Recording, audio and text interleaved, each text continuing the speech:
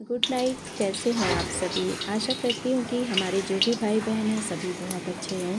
तो आज मैं क्या क्या बना रही हूँ, क्यों बना रही हूँ, किसके लिए बना रही हूँ? तो वीडियो में बने रहें जो नए भाई बहन हैं, चैनल को सब्सक्राइब करना जो पुराने हैं, कोई टैक्स, कोई पैसा नहीं, लाइक ज़रूर देना और शेयर, कमेंट करना। तो जी हाँ आज मैं खाना क्यों इतने बना रही हूँ? तो मेरे हस्बैंड के दोस्त आने वाले हैं, एक दो लोग, और भाई भी हैं वो, बहुत ही नज़दीकी हैं हमारे घर से बिल्कुल घर जैसा हम लोगों का संबंध है। तो इसलिए आज मैं खाने, खाना बना रही हूँ। तो सबसे पहले मैं बना रही हूँ खीर। खाना बहुत ही हो, लेकिन मीठा ना हो तो फिर अच्छा नहीं। तो मीठा तो ज़रूरी होना चाहिए। तो बस यहाँ पे मैंने देसी घी में चावल को भुना, इलायची डाल करके। उसके बाद, भुन जाने के बाद फिर मैंने चावल को दूध में डाल दिया। इससे क्या होता है ना, खीर बहुत सूंधापन आ जाता है और बहुत ही टेस्टी बनता है। तो बस यहाँ पर मैंने चावल डाल दिया। उसके बाद अब मैं चौलाई बनाऊँगी। तो ये चौलाई लाए थे, क्योंकि आजकल लोग तेल मसाले वाली चीज़ें नहीं खाते। सिंपल ही खाना, चाहे अधिकारी हो, चाहे कोई भी हो, सब लोग सिंपल खाना पसंद करते हैं। तो यहाँ पर ये देखिए परोड़ा है। तो ककोड़ा, जो भी आप लोग बोलते हो, हमारे घर में इधर हमारे तरफ़ परोड़ा बोलते हैं। इसको मैंने अच्छे से धो करके वॉश कर लिया है। अब इसको मैं अच्छे से काट रही हूँ। तो इसको भी बनाऊँगी साथ ही साथ, क्योंकि ये बहुत ही टेस्टी सब्ज़ी होती है। बहुत ही इस समय सीजनली है। इसको खाना भी चाहिए। सेहत के लिए बहुत ही अच्छी होती है। ज़रूर आप सभी खाना। तो बस मैं इसके ऊपर नीचे के भाग को काट रही हूँ। काटने के बाद इसको जो है फिर मैं पतले पतले काटूँगी। जैसे करेला काटा जाता है, उसी तरीके से इसको काटूँगी मैं। और मैंने चौलाई को धो करके अच्छे से साफ़ कर लिया है। और उसको कट भी कर लिया है। और एक तरफ़ मैंने खीर को भी चढ़ा दिया है तो हमारा खीर धीरे आँच में पक रहा है, क्योंकि खीर को तेज़ आँच में नहीं पकाते हैं, इसलिए मैंने सबसे पहले खीर को ही बनाया। हमने कहा, वो खीर पकती रहेगी धीरे धीरे और इधर मैं अपने सारे काम भी करती रहूँगी जो है। तो बस यहाँ पे देखिए मेरी खीर बन करके रेडी हो गई है। गाढ़ी हो गई है, मैंने चीनी भी डाल दिया, चीनी कम ही डाला, क्योंकि आजकल लोग मीठा बहुत कम पसंद करते हैं। उसके बाद यहाँ पे मैंने कुछ ड्राई फ्रूट्स काट लिया था, काजू, बादाम किशमिश और ये मखाना। तो यहाँ पर ये देखिए, मैंने डाल दिया। मेरी खीर बन के रेडी हो गई है। तो चलिए इसको अब हम एक तरफ़ रखते हैं और अब छोंकते हैं मैं चौलाई, क्योंकि चौलाई हमने काट के रख ली थी। इस वजह से जो है, अब इसकी छोंकने की बारी हो गई है। इधर हमारी खीर बन के रेडी हो गई है तो इसको हम अभी एक किनारे रख देंगे और अब छोंकेंगे हम चौलाई। तो चौलाई के लिए हमने लहसुन और मिर्चा को जो है छील काट लिया है।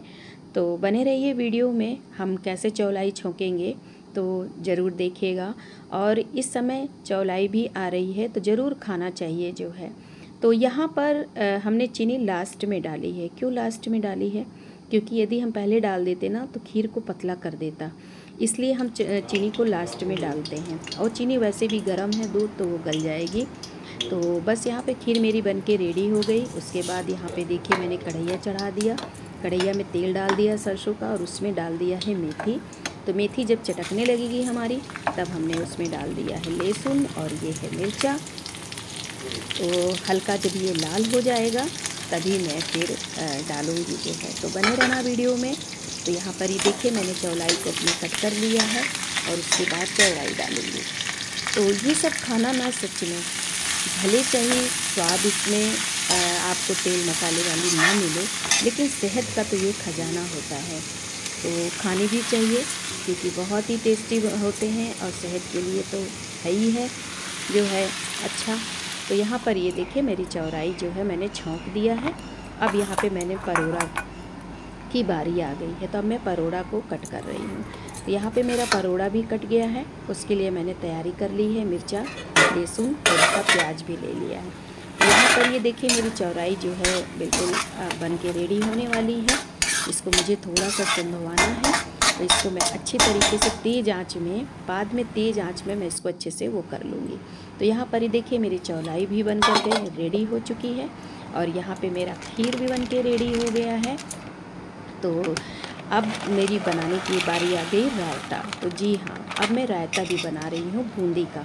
तो यहाँ पर मैंने दही को ले लिया है और इसको मैंने इसमें बूंदी डाल दिया है ताकि बूंदी थोड़ी देर भीग जाए।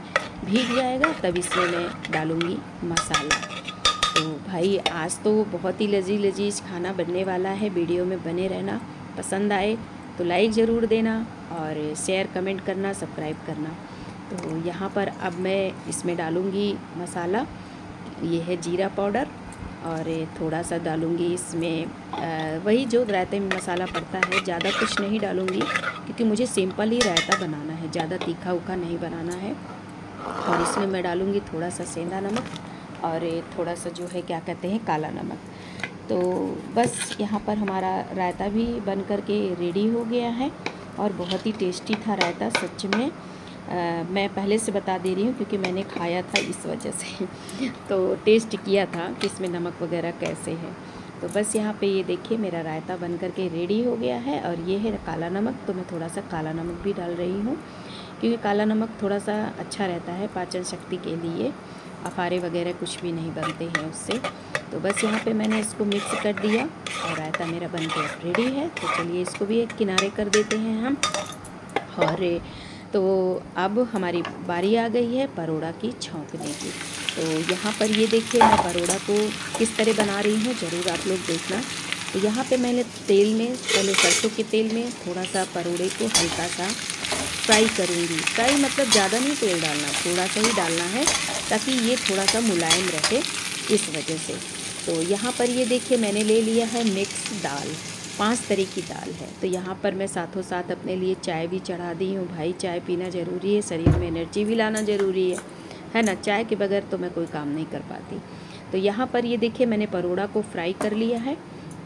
उसके बाद ये जब मेरा सरसों का तेल हो जाएगा, इसमें मैं डाल दूँगी थोड़ा सा मेथी। तो जी हाँ हमारे यहाँ हर सब्ज़ी मेथी से ही छौंकी जाती है। इसमें मैंने मेथी और थोड़ी सी जीरा भी डाला था, ठीक है? तो अब जब ये चटकने लगेगा, उसके बाद ही मैं क्या डालूँगी? तो वीडियो में बने रहना भाई। साथ मत छोड़ना, देखते रहना मैं क्या क्या आज बना रही हूँ। बहुत ही लजीज लजीज खाना है। है तो सिंपल, लेकिन बहुत ही टेस्टी लजीज है। यहाँ पर मैंने एक तो प्याज भी कट कर लिया था तो प्याज को अच्छे से भूनेंगे। आप प्याज खाते हो तो डाल देना, नहीं प्याज डालते, खाते हो तो उसको इसके भी कर सकते हो। पर यहाँ पर मैंने डाला है एक भाई टेस्ट के लिए। तो यहाँ पर इसको अच्छे से भूनूँगी प्याज को। बहुत ज़्यादा लाल नहीं करना है, हल्का ही लाल करना है। तो बस भाई हो गया है। अब मैं इसमें डाल रही हूँ अपना परोड़ा जो मैंने फ्राई थोड़ा सा किया था। तो बस इसको अच्छे तरीके से मिक्स कर दूँगी मिला दूँगी ताकि अच्छे से मिल जाए। तो हमारा क्या क्या खाना बन चुका है? खीर बन गई है, रायता बन गया है चौलाई की सब्ज़ी बन गई है। तो अब ये परोड़ा भी अभी हमने छौंकी दिया है। और लास्ट में बनाऊँगी मैं पंचमेल दाल और चावल लास्ट में बनाऊँगी, ताकि गरम गरम रहे, है ना? ये ठंडा हो जाएगा तो मज़ा नहीं आएगा भाई। तो यहाँ पर मैंने डाल दिया है हल्दी। तो हल्दी तो डालना ज़रूरी है भाई, हल्दी तो डालेंगे कलर के लिए, है ना? तब इसमें डाल रही हूँ थोड़ा सा गरम मसाला गरम मसाला ज़रूर डालेंगे भाई। और आप खाना हो तो डालिए नहीं स्किप भी कर सकते हैं, कोई ज़रूरी नहीं है। तो यहाँ पे मैंने थोड़ा सा डाला है, ज़्यादा नहीं डाला, गरम मसाला, थोड़ा सा ही डाला है। क्योंकि आज मेरे घर में बन रहा है बिल्कुल सिंपल सिंपल सा खाना। और उसके बाद ये क्या डाल रही हूँ? अमचूर पाउडर। जी हाँ लास्ट में इसमें अमचूर पाउडर भी मैं डालूँगी दो चम्मच, थोड़ा सा खट्टे के स्वाद के लिए। क्योंकि करेला हो, परोड़ा हो, कहते हैं इसकी प्रकृति एक ही होती है, थोड़ा सा स्वाद में अंतर होता है। वो करछेला होता है, ये करछेला नहीं होता। इसलिए अमचूर तो दोनों सब्जियों में डाला जाता है। तो यहाँ पर मैंने डाल दिया है जो है आ, उसको मैंने धीमे आँच में रख दिया पकने के लिए। तो अब यहाँ पर मैं बना रही हूँ अपनी पंचमेल दाल। उसको मैंने भिगा के रख दिया था थोड़ी देर के लिए। उसमें मैंने डाला देसी घी। जी हाँ मैं देसी घी से बना रही हूँ। देसी घी में जीरा डाला प्याज डाला और खड़ा लाल मिर्चा डाला लहसुन डाला अदरक डाला, सारा कुछ। अब इसको अच्छी तरीके से मैं भूनूँगी और एक टमाटर भी डाला भाई पंचमिल दाल बन रही है तो थोड़ा तो टेस्टी तीखा चटपटा होना चाहिए। तो वहाँ यहाँ पे मैं इसको अच्छी तरीके से अब भूनूँगी ताकि ये टमाटर हमारा गल जाए। और यहाँ पर देखिए मेरा परोड़ा बन के रेडी है। कैसा बना है, देख लीजिए, बहुत अच्छा लग रहा है ना? जी हाँ खाने में भी बहुत टेस्टी था।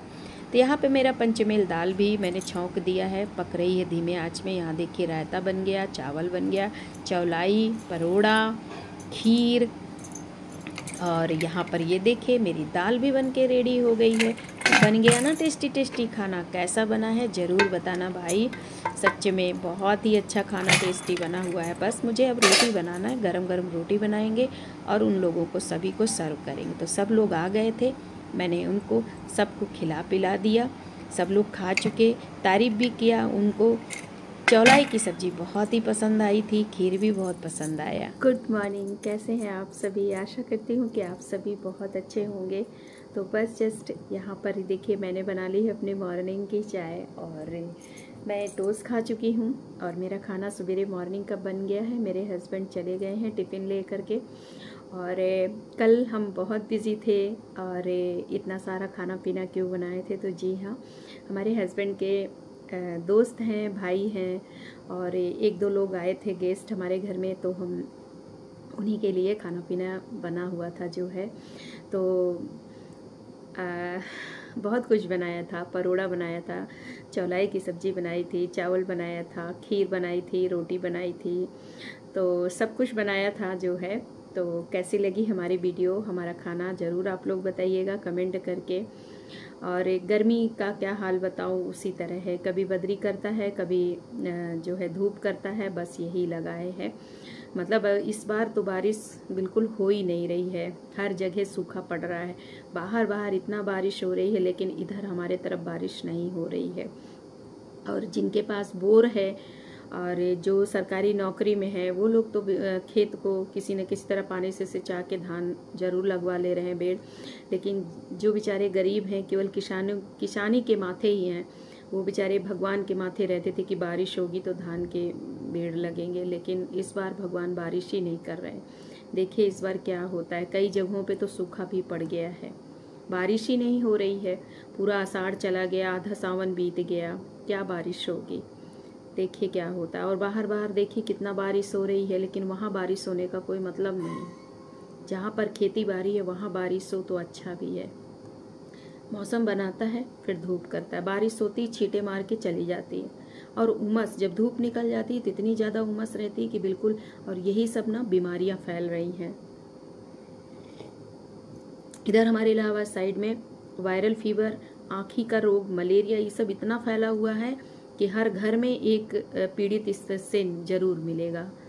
तो इसलिए आप लोग बदलते मौसम में इधर के जो भी हों, बहुत ध्यान दीजिए अपना जो है। तो हमारी ये वीडियो कैसी लगी तो कमेंट बॉक्स में ज़रूर बताइएगा। और कोई टैक्स, कोई पैसा नहीं, लाइक ज़रूर दीजिएगा। जो नए भाई बहन हैं, मेरे चैनल को सब्सक्राइब करिएगा।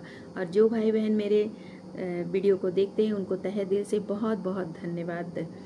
और फुल वॉच करके देखें अच्छी लगे तो फुल वॉच करके देखें कोई प्रेसराइज नहीं है कि आप लोग मेरी वीडियो को देखें ही। तो चलिए ठीक है, रखते हैं। नेक्स्ट वीडियो में नेक्स्ट ब्लॉग में फिर मिलते हैं। तब तक के लिए बाय बाय